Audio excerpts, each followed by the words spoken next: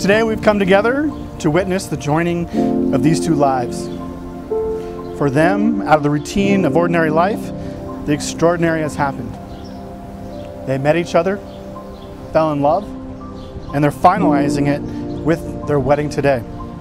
Romance is fun, but true love is something far more. And it is their desire to love each other for life, and that is what we are celebrating. A good marriage must be created. In marriage, the little things are the big things. It is never being too old to hold hands.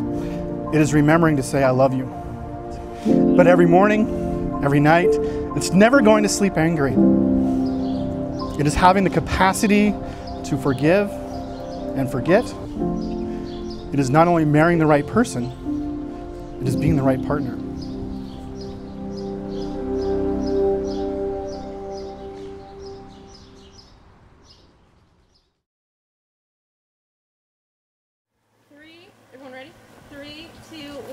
It.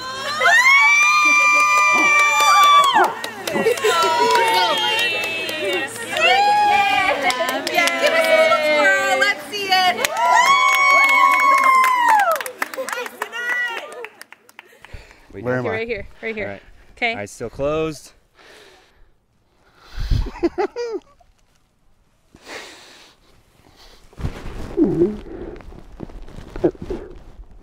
You look beautiful.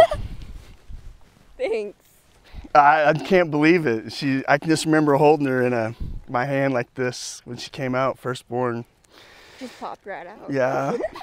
now she's 20, almost 23 years old. I can't believe it. All grown up. Very proud of her. You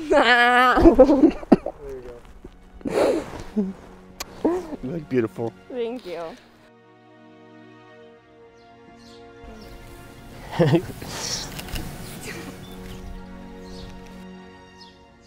Look so pretty. You look handsome.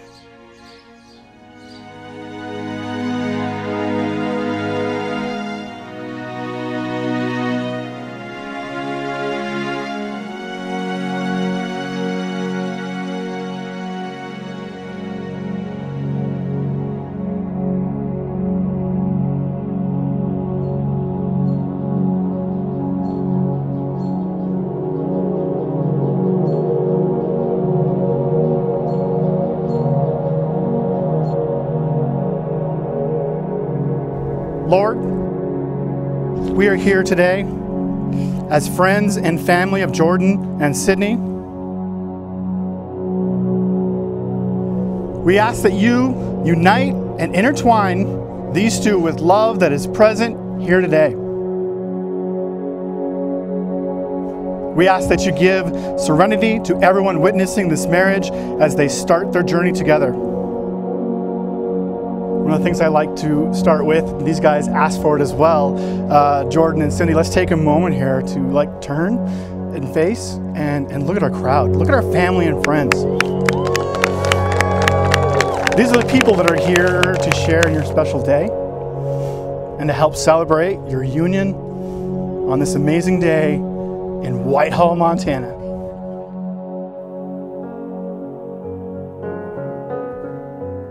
Like to start by saying when I first met Sydnee as one of her fifth grade teachers, I knew there was something special. This girl kept straight A's all the way through fifth grade.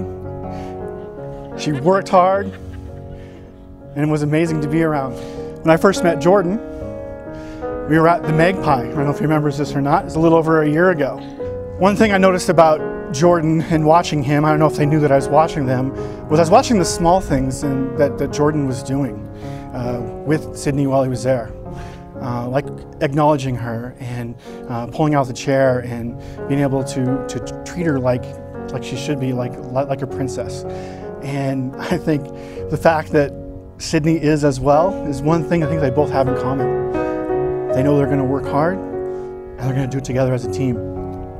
Jordin, you take Sydnee to be your wife? I do. Sydnee, do you take Jordin to be your husband? I do. All right. By the power vested in me, I now pronounce you husband and wife. Jordin, you may kiss the bride. I now present to you Mr. and Mrs. Marzetta.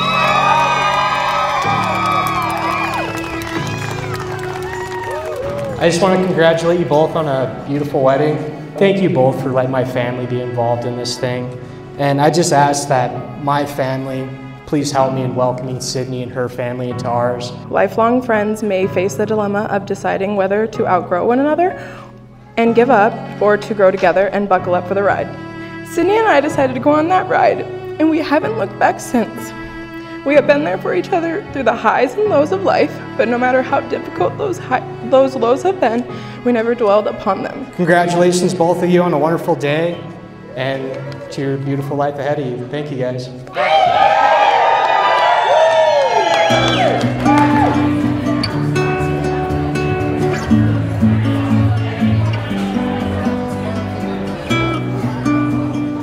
Sydnee, you look beautiful.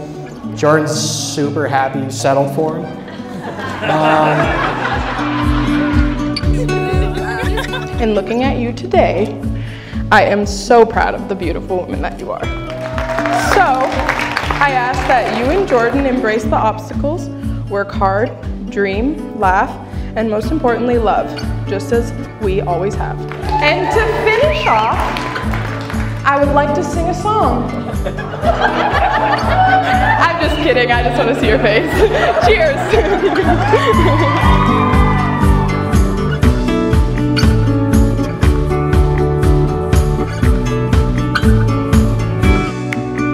Love is very patient and kind, never jealous or envious, never boastful or proud. Love does not hold grudges and will hardly notice when others do it wrong. If you love someone, you'll be loyal to them no matter what